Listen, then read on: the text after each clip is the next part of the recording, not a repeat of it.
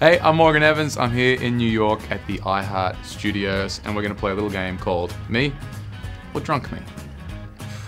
I feel like me and Drunk Me are very similar people in this way. Sometimes I'm the annoying guy on the plane that will try to start a conversation with you, um, and sometimes I'm the annoying guy in the bar that will try to start a conversation with you, so hi.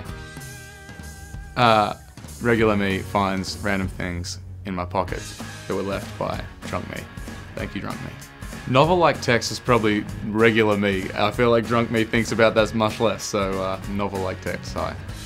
That's drunk me at karaoke for sure. And uh, last week, on the night the album came out, uh, Drunk Me was doing some karaoke and we were doing a Backstreet Boys song.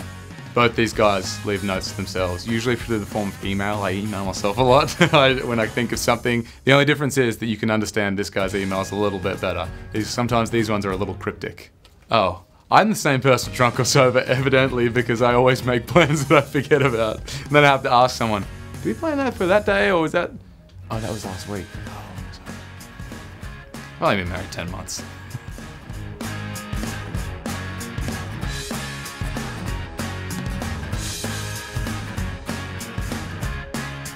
I named the album Things That We Drink To after the song Things That We Drink To, and um, that song is a, a, tribute to my late manager, and, and uh, we lost him last year, and, and on the day of his memorial, we were in the studio and we wrote that song as like a celebration of life, you know, and his memory. And um, as the other songs were kind of finding their places on there, I realized that there were all these great moments from my life in the last couple of years, and it's like finding a new home in Nashville and meeting the girl and getting married and, and you could raise a glass to all these things and um, I thought that that song title would make a great album title for that reason.